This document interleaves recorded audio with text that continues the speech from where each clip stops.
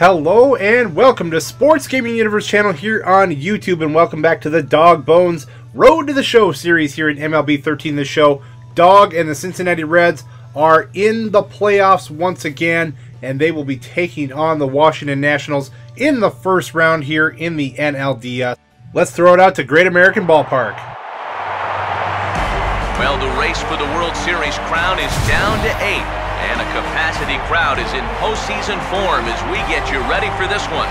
It's game one of the National League Division Series between the Washington Nationals and the Cincinnati Reds. Hi again, everyone. Matt Vasgersian. Welcome to our special postseason coverage of baseball on the show. I'm joined by Eric Karros and Steve Lyons. And Steve, let's take a look at how these two ball clubs got to where they are. Yeah, and you can see how these two teams stack up. And it's hard to say exactly who you'd give the edge to right now. But it wouldn't surprise me at all if the pitchers were the guys that got the upper hand in this series. The postseason is officially in full swing. Lineups and first pitch coming up next.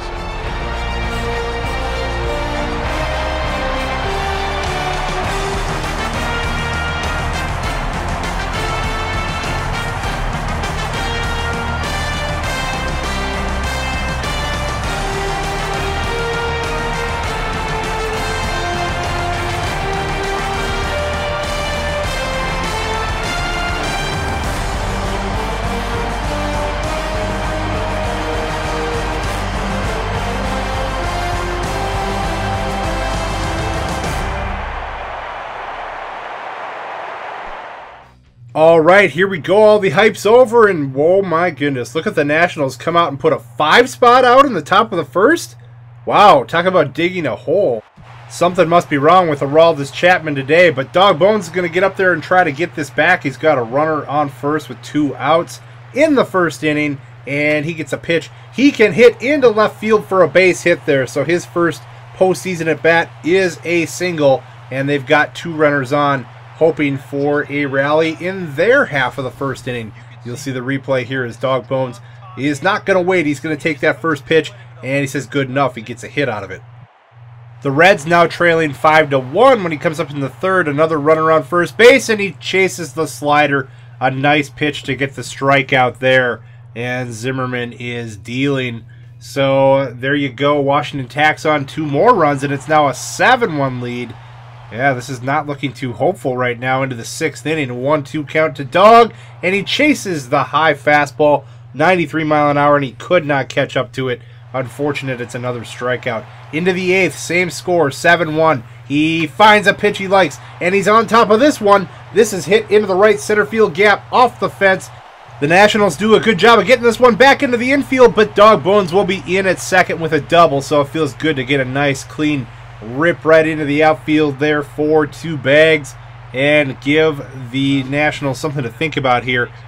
As the Reds try to start a rally, you see the replay there. Dawg Bones got a good swing on that pitch and is able to get extra bases. So now standing on second base and hoping he can be brought around here with nobody out. This ball is hit pretty deep to right field and it will be gone. A two-run homer and Dawg will indeed come around to score on that one. It's now 7 to 3. Can Cincinnati rally further? Dawg Bones hoping to get around for one more at bat. We'll have to see what happens here. Can the Reds get him to the plate in a meaningful situation here? Well, let's see. No, it's not going to happen. They go down 7 to 3 and Dawg Bones does not come up for another at bat. Unfortunate he didn't get a chance to try to tie this up with a long ball or anything, but he'll have to settle for two hits and the loss. Washington wins game one, seven to three, and now all of a sudden, home field advantage. It's gone. So now we got to try to win game two. That's a must, as we don't want to go down 0-2 and travel to Washington, but we'll have to do what we can do in game two here with the crowd behind us and see if we can even this up. So uh, one thing that's out of Dawg Bones' control is the pitching. Hopefully that will be a bit better this time around. We really thought Aroldis Chapman would have pitched better in game one, but he got ambushed in the first inning, gave it up five runs. Oh, Dawg Bones will chase outside the zone again. Another strikeout. Maybe trying to do too much here. Yeah, maybe. Well, let's see here. Washington again goes up 5 nothing. Uh, this is not good pitching-wise. Just not good at all. As Dawg is really going to have to come through now. He hits that ball deep, but oh, he got in front of it. It's going to be a fall ball. Uh, he got really good swing on it, but now with a 1-2 count, he is looking for another pitch he likes. This one's drilled to right. It's getting out of here. It's a postseason power bomb. It's doggone. Feels good for Dawg Bones to go yard. He only wishes that he had teammates on base when he hit it, but it's a start. Cincinnati gets to cheer for something here as the fireworks go off as Dawg Bones hits this 413 feet to right center. It was a no doubt line drive shot. Goes right down through the concourse there. But Washington doesn't really give a rip. They go score two more runs, and all of a sudden it's a 7 1 ball game. Bases loaded for Dawg. He rips it down the line. Oh, just foul. Oh, he's got to straighten that out a little bit. 2 2 count. Come on now. Bases loaded. Come on, Dawg. Oh, 93 mile an hour fastball. High and tight. He swings right through it, and the threat is done. Comes back up in the eighth, but nobody on this time. Again down the line. Nope. It's going to be fall ball. This has been an epic at bat here. He works a 3 2 count. Still 3 2 when he drills this one, but foul again. Wow, it's 11 pitches. This is now the 12th pitch of the at bat, and he coaxes the walk. Wow. He really, really worked to get on first base that time, and probably frustrated Gio Gonzalez a little bit as Dawg Bones does get down to first base. That will be the end of the night for Gio as they'll come get him and bring out a reliever. But they do have the fairly comfortable lead at this point. Henry Rodriguez will come in in relief, and Dawg is thinking of maybe swiping the bag on 2 0. But whoa! He catches him leaning! They call him out! He did not get back! Oh, Dawg Bones gets picked off. Frustration here in Cincinnati for Dawg and the Reds. Getting picked off of first base might put Dawg right in the doghouse with Dusty Baker there. But you know what? No tirade today. It is what he is. He comes over and thanks him for his effort hitting the home run. But they go down 9 to 3. And Washington now has a two games to none lead. And they're taking this back home. Bryce Harper has a monster game and leads his team to victory. Johnny Cueto is going to have to go out there against Jon Lester, battle tooth and nail and try to get this started for Cincinnati, who now has to win three straight to advance. We'll have to see if it's even a possibility here as we go to Nationals Park for Game 3. Wow, these fans have to be jacked up. They know that they're just one win away from getting to the next round, and all of a sudden they are in the driver's seat. So you look at the recap of the first two games. Nothing good going for Cincinnati whatsoever. 7 3 and then 9 3 losses back to back. So Johnny Cueto is going to have to get it done today. We'll see how he fares. The Nationals are just about ready to take the field, but first they will get the lineup introductions here as this is the first home game of the series. So, you know, big production and all that.